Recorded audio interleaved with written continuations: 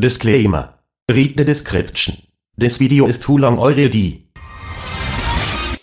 Good morning, every pony. I hope you all had a lovely weekend. Now, let us continue where we last left off. If you would look here on the blackboard, I have recreated the comparison sheet we gathered last week. And starting from there, Miss Cheerilee, yes, my little pony. can we maybe spend this lesson on a different topic? Something a little more practical, maybe. Oh, but this is a school, my dear. My duty is to teach every young pony what they need to know in order to succeed in Equestria. And the most important lesson for all of you, but mostly for my fellow Earth ponies, is that of the existing privilege in our society. Why, Doug, what Can't you just leave us be? Spare us again. Quiet! I'm the teacher and I decide what is being taught. One day you'll thank me for this. Now let's get right back to it then. Remember the first and most important rule in equestrian society. Don't be an earth pony. Country was founded on the idea of equality, but since that tyrannical white alicorn took over, everything that meant something went downhill and cast a shadow on all of us. Nowadays, an earth pony has to overcome countless roadblocks that unicorns or pegasi just trot through. Take, for example, education. An earth pony like me would never be allowed at Canterlot University because they believed that I couldn't compete with them, since they held me down all my life. They can't comprehend a pony like me being smart enough to make them competition, and so they sneak in their discriminatory laws through the back alley and make up random criteria that kick you out. All because they are afraid of what we are capable of. Miss Cheerilee, weren't you Ponyville's school teacher from the very beginning? Right after you finished learning, didn't you immediately take on this position? Well, yes, but only because I knew from the start that they would reject me everywhere else.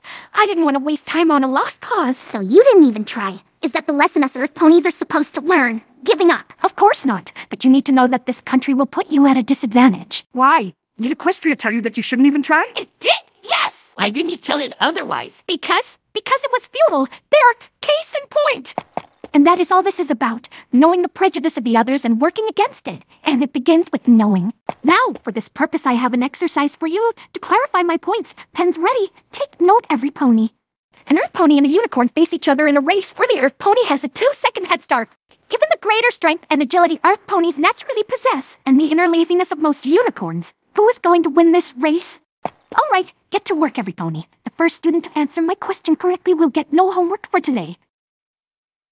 Holy fucking hell, y'all! Can you believe that? I know, right? No homework! We are so gonna get this reward! Ain't y'all a little concerned about all the hate speeching going on in here?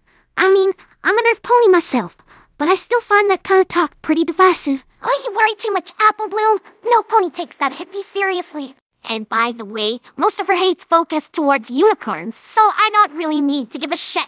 Sweetie Belle? I second Scootaloo. The best thing to do with that kind of ponies is to ignore them until they run out of breath. Well, I guess that's what every pony else is doing. But still, I find it hard to believe that some ponies still think that there's some kind of great divide in our society. I mean, my sis and I constantly make jokes about being and the hood and all, and all that white pony shit, but that's just part of our talk.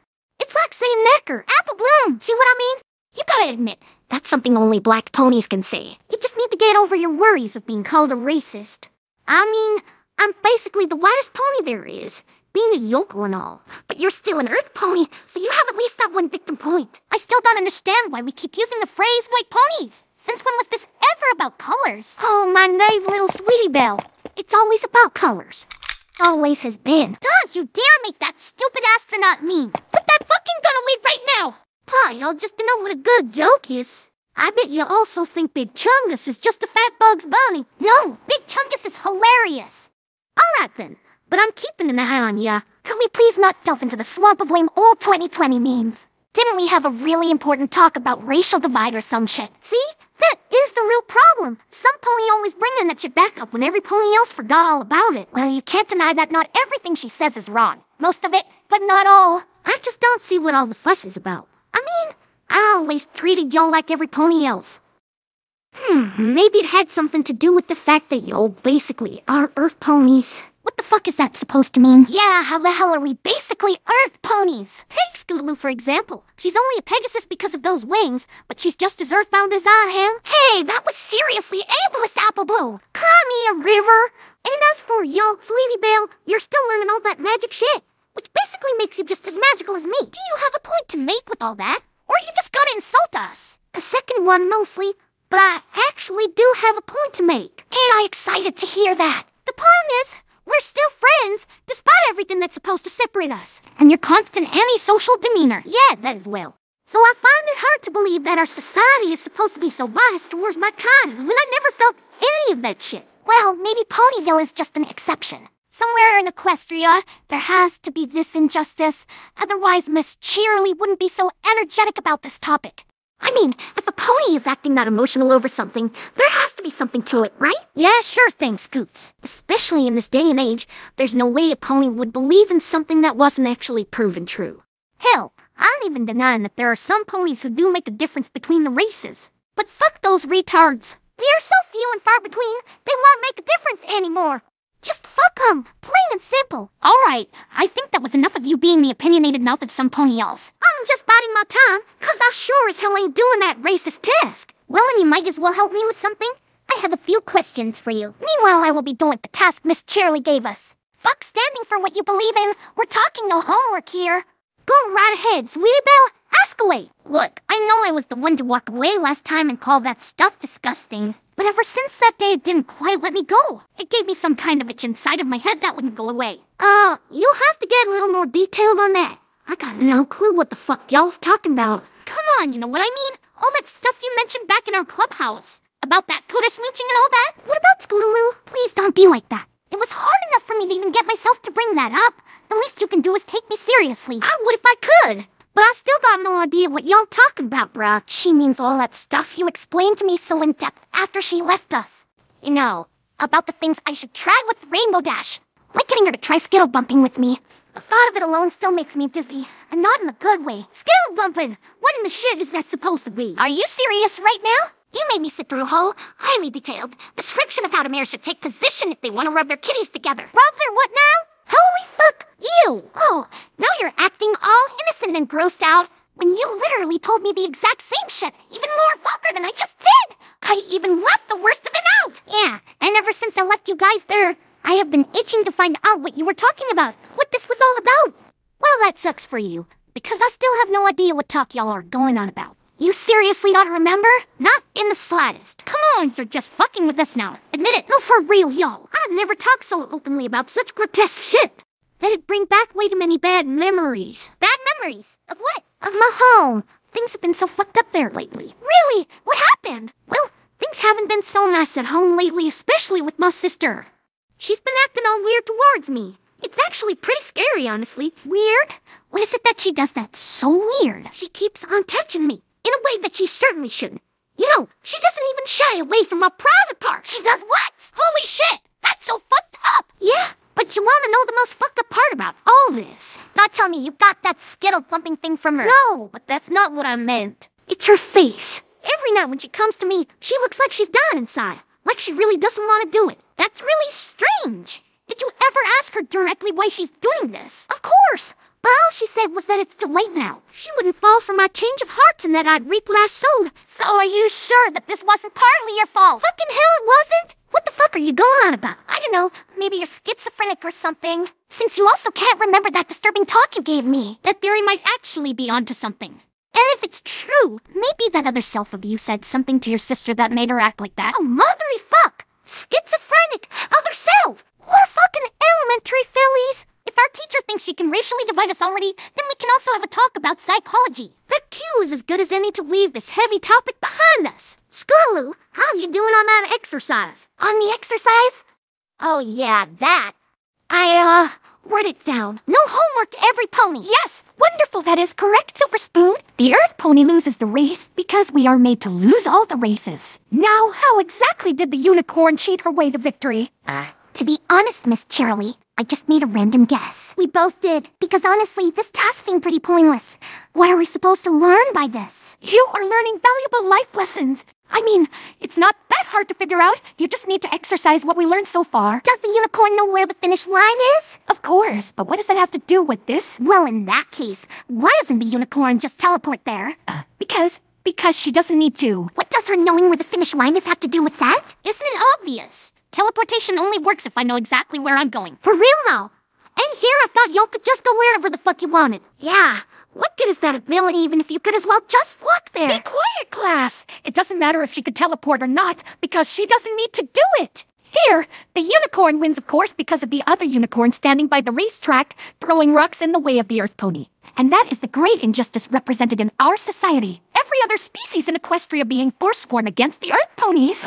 I don't want to be an asshole or anything, but I don't really understand any of that. What is there not to understand? I'm not an earth pony, but that doesn't mean I'm forsworn against any pony. Yeah, I mean, I like every pony in this class. Even Diamond Tiara by now. Fuck you, Snails. He's kinda right, though. Snails, of course you would say that because of the work I am doing. I am working every day on keeping you all clean of the corruption of our society. But there's only so much I can do. I mean, look at you, Snails. Who in this room is your very best friend? A unicorn. Don't you realize that by associating with your own kind, you keep on supporting the system? A system that allows a tyrant in power who in a whip decides to outlaw an entire color. I mean, aren't you afraid of what this means? If Celestia can decide that purple is just disgusting and ban it, what is keeping her from expanding that? Didn't Princess Twilight immediately revert that purple banning? Because my mane is back to normal again. Maybe, but for how long will that rookie princess last before she is also corrupted by her power? Remember, she was born a unicorn! Ah, Miss Cheerilee. I don't mean to be disrespectful or anything, but could we maybe instead learn some math? So that my important message is being drowned in boring theory and numbers? Not fucking likely! You supremacist unicorn! Math in itself is a massively racist construct designed to hold us Earth ponies down. And I will for my fucking life not feed into your little power fantasy, you racist shit! Huh, what the hell? Wow, who would have seen this coming? Shut up, you race traitor! And that goes for all of you. Equestria might one day lift you above me, but for now I am superior. And I will do everything in my power to make a change happen. The millennium of Celestia's tyranny will end in my lifetime. You be sure of that. Freeze! Nobody move! Every pony stay seated! What's going are you? I am agent classified of Department Prohibited, and by royal order I am here to close this facility under suspicion of high treason. What? That's totally ridiculous. This is a school. Quiet! You have no right to not remain silent. Engage. Whoa, whoa! What's going on? You are being arrested for attempting to cause an uprising. Why, that is complete my words. There is no use denying anything. You have been monitored for an extended period of time. So what? I am teaching young ponies to see through your lies and think for themselves. Who made that illegal? Princess Celestia, and therefore by extension me. Your actions have been found a disturbance of peace by the Ministry of Public Affairs and Social Harmony. The what now? See what I mean, kids? Not even her censorship organ is anything original. Even there, she just can't stop herself from appropriating the culture of Kyrat. Did I stutter about your rights? Knock her out, men. No, no, wait. Wait.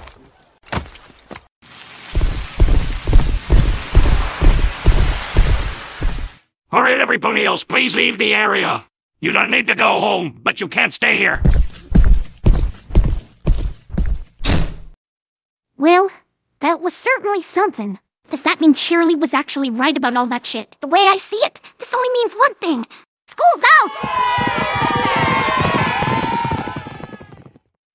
Look, Apple Bloom, I know we are all tired after everything we just witnessed. And after how long this fucking video is already going. But I just remembered something that might clear up all the confusion about your sister. Really? Let's hear it then. Maybe it was actually Chrysalis that made your sister do all this fucked up shit to you.